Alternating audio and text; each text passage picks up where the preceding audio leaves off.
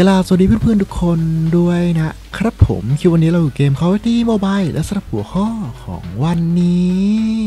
พี่ลิงก็จะมารีวิวหนึ่งในสกิน Legendary ใหม่ที่เพิ่งอัปเดตเข้ามาในตอนนี้แบบสดๆร้อนๆเลยผมของปืน KN44 Legend สกินใหม่ เอาล่ะ เราก็มาดูกว่าว่าสกินของ KN44 Legend ใหม่นี้เนี่ยจะสวยงามและน่าสนใจมากขนาดไหนก็มาดูกันเลย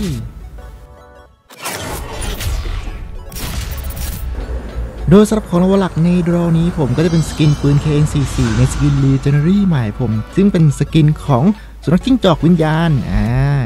แต่อันนี้เนี่ยจะเป็นหนึ่งในซีรีส์ที่อยู่ในซีรีส์จิ้งจอกวิญญาณด้วยกันผมก่อนหน้านี้ก็เคยมีซีรีส์ที่เป็นจิ้งจอกวิญญาณมาแล้วผมก็จะเป็นในส่วนของปืน Arctic Dot 50 แต่จะแตกต่างกันนิดนึงก็คือของ KN44 เนี่ยจะเป็นสุนัขจิ้งจอกครับผมที่เป็นวิญญาณขาว โดยอีกหนึ่งกระบอกที่อยู่ในซีรีส์เดียวกันนะผมก็เป็นตัว Arctic Dot 50ผมในซีรีส์ของจิ้งจอกวิญญาณเหมือนกัน แต่อันนี้เนี่ยจะเป็นจิ้งจอกวิญญาณที่เป็นสีดำครับผม อันนี้ก็จะเป็นคนละเฉดกันนี่นะก็อยู่ในซีรีส์ type เดียวกันนะในส่วนของสกิน Legend นะในส่วนของรถอื่นๆนะผมก็จะมีในส่วนของตัวละครที่เข้าธีมกับตัวปืนนะผม ก็จะเป็นตัวละครที่สวมใส่หน้ากากสีจิ้งจอกนี่บอกเลยว่า เอ้ย เท่อยู่เนี่ยสำหรับตัวละครตัวนี้ผมใครชอบแบบว่า แนวแบบบู๊บู๊หน่อยนะครับผมก็น่าจะชอบตัวละครตัวนี้นะ โดยจะว่าไปผม feel ตัวละครนี่เหมือนกับสไตล์ที่เป็นยากุซ่าเลยนะเฮ้ยเท่ดีผมชอบชอบชอบถัดมาในส่วนของอื่นที่เป็น epic ก็ที่น่าสนใจรองลงมาหน่อยผมก็จะเป็นพวกซีรีส์ skin ปืนต่างๆอะก็จะมีปืน PP19 มี Thumper มีในส่วนของกระเป๋า backpack ที่เป็นดาบซามูไรคู่เอออันนี้ก็เฟี้ยวดีผม มีลายโดดร่มโดดร่อน มีรถ ORV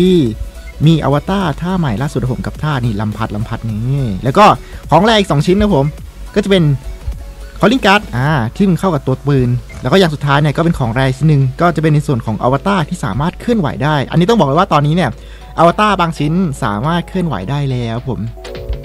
โดยส่วนใหญ่ผมที่อวตารสามารถเคลื่อนไหวได้เนี่ยมันจะเป็นอวตารกับตัวละครพิเศษผมอย่างเช่น ตัวละคร collab หรือตัวละครที่มี skin legend อันนี้เนี่ยก็จะเคลื่อนไหวได้หรือตัวละครที่แบบ rare ๆเนี่ยก็จะสามารถเคลื่อนไหวได้นั่นเองผมและหลักตอนนี้ ก็น่าจะมีอยู่ประมาณ 8-9 ชิ้นด้วยกันนะที่สามารถเคลื่อนไหวได้นะ ใครที่มีเก็บก็แนะนำให้เก็บเลยนะ และที่พลาดไม่ได้อีกอย่างหนึ่งนะผมสำหรับคนที่จะเปิด draw นี้ก่อนเปิด แนะนำว่าให้ทำในส่วนของตัวอีเวนต์ประจำ season ก่อนผม ซึ่งจะเป็นอีเวนต์ตะลุย New Vision City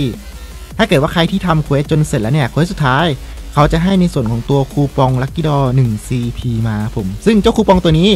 เวลาเราไปเปิดลั c กี้ดอเนี่ย เราสามารถเปิดครั้งแรกในราคาเพียงแค่ 1 CP เท่านั้นผมก็แนะนำว่าควรทำเควสก่อนนะอย่างน้อยๆเนี่ยเปิดครั้งแรกเนี่ยก็ประหยัด CP ไปได้นิดนึงนั่นเอง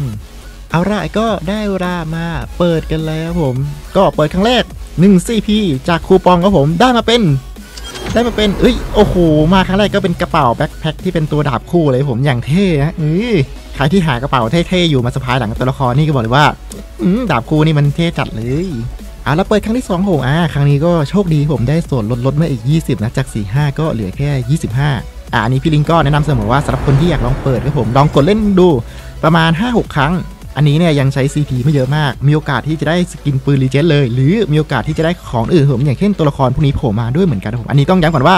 มันก็อยู่ที่ดวงของเพื่อนแต่ละคนในการเปิดนั่นเองนะถ้าเกิดคนดวงดีเนี่ยสี่ห้าครั้งยังไงก็ได้ ผมแต่เกิดว่าคนดวงเกลือเนี่ยก็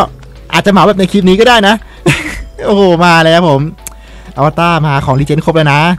รีเจนออกไปนี่ต้องปืนเลยนะ หรือไม่ก็ตัวละครเลยก็ได้นะปืนละครก็ได้ปืนก็ได้ปืนมาผมแต่มันเป็นปืนอีพิกไงมันไม่ใช่รีเจนไงเคนออกเลยได้ไหมเหลืออีกสามชิ้นเนี่ยสามชิ้นจบเลย จบแบบสบายสบายๆอุ๊บครับเห็นเห็น cutscene มาแบบว่า เวลาแบบเปิดปืนปุ๊บมัน cutscene แบบกระตุกกระตุกนี่คือแบบนึกว่าใช่แล้ว แต่มันมันยังไม่ใช่นะ อีกสองชิ้นตัวละครแน่เลย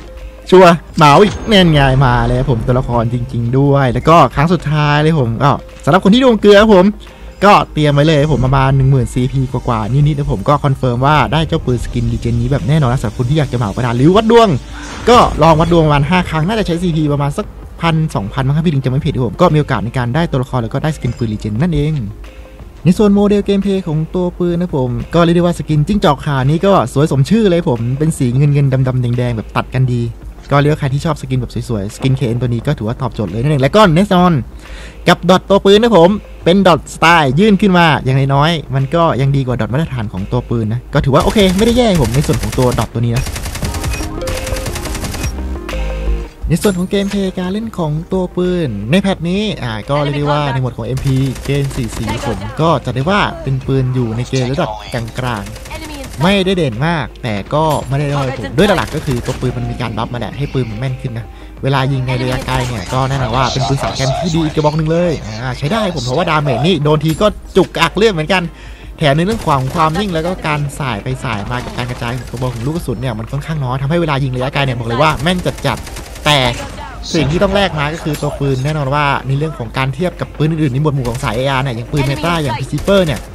ค่าความคล่องตัวของปืน KCC เนี่ยมันน้อยกว่าผมแล้วก็ในเรื่องของความเร็วในการลั่นกระสุนมันก็ค่อนข้างให้จะช้ากว่า เพราะฉะนั้นเนี่ย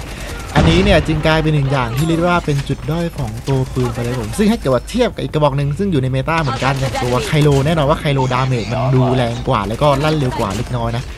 ถึงแม้ว่าความนิ่งไคโลจะน้อยกว่าก็ตามแต่อย่างที่รู้ว่าคนคนส่วนใหญ่เนี่ยก็มักจะชอบในเรื่องของ damage ที่แน่นๆนะยิ่ง damage แน่นๆเนี่ยเวลายิงทีมันก็แบบมันเลยแล้วก็ประหยัดกระสุนในการฆ่าศัตรูด้วยก็อยู่ที่สไตล์การเล่นของแต่ละคนแต่ก็บอกเลยว่า KN44ก็เป็นหนึ่งปืนที่ดีใน patch นี้ แต่เพียงแค่ว่ามันอาจจะรู้สึกว่าค่อนข้างที่จะสู้กับ patch นี้ยากนิดนึงในกรณีที่เจอศัตรูที่เป็น SMG ในระยะใกล้นะไป ลุย gameplay ดีกว่าผม ก็สำหรับคนที่อยากเล่น KSCC ใน patch นี้ แนะนำว่าถ้าจะบิวเล่นก็ควรที่จะบิวเป็นสายแคมป์ไปเลยนะ จะได้เล่นง่ายหน่อยผม ถ้าเกิดว่าไปเล่นบิวแบบที่เป็นสายบุกเนี่ยบอกเลยว่าอาจจะให้ความรู้สึกเล่นยากนิดนึง เพราะว่าตอนเนี้ยเวลาเจอระยะกลางเนี่ยคือแบบปืนระยะกลาง patch นี้แม่งโคตรโหดทุกกระบอกเลยอะทั้ง SMG ทั้ง AR ผมเพราะฉะนั้นเนี่ยเรายิงช้ามากเลยเราก็ยิงไม่ทันหรอกครับผมปืนระยะกลางนะเพราะฉะนั้นเนี่ยก็เน้นแบบคุมโซนไปเลย ยิงระยะไกลแบบแหลมๆแม่นๆไปเลย damage จุกๆไปเลยจะค่อนข้างตอบโจทย์มากกว่าในการเล่นนะนี่บอกเลยว่าไกลๆนี่บอกเลยว่าอย่างชอบครับผม ยิ่งมีแบบที่ไปให้มุดแอบมุดแอบยิงนี่คือแบบโอ้โหอย่างได้เปรียบนี่แล้วลูกกระสุนของปืนก็เยอะอยู่แล้วนะเออเป็นปืนที่มีความแบบลูกเยอะแม่นเนี่ยก็คือใช้ได้เว้ยเอ้ยยังไงเนี่ยตกใจนึกว่าเพื่อน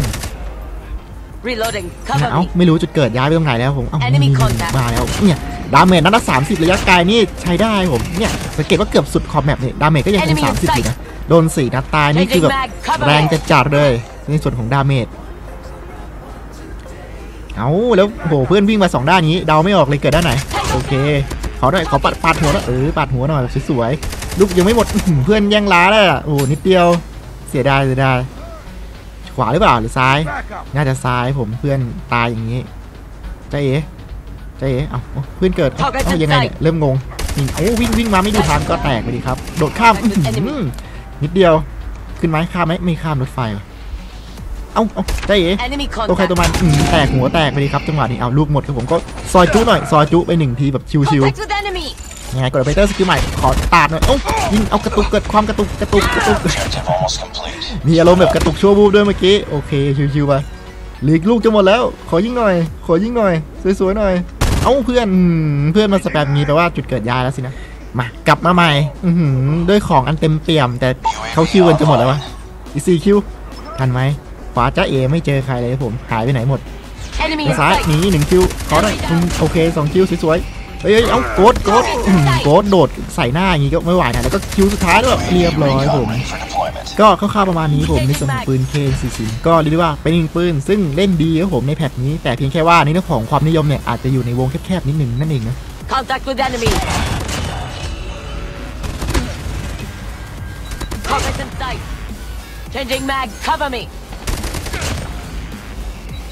และเหมือนเดิมสำหรับเพื่อนคนไหนที่ชอบเกมดีๆแบบนี้มีสาระความรู้แบบนี้และเกมดีๆแบบนี้ก็อย่าลืมกดไลค์กด subscribe ตามกันได้นะครับผมทางช่องยูทูบแล้วก็แฟนเพจเฟซบุ๊กนะ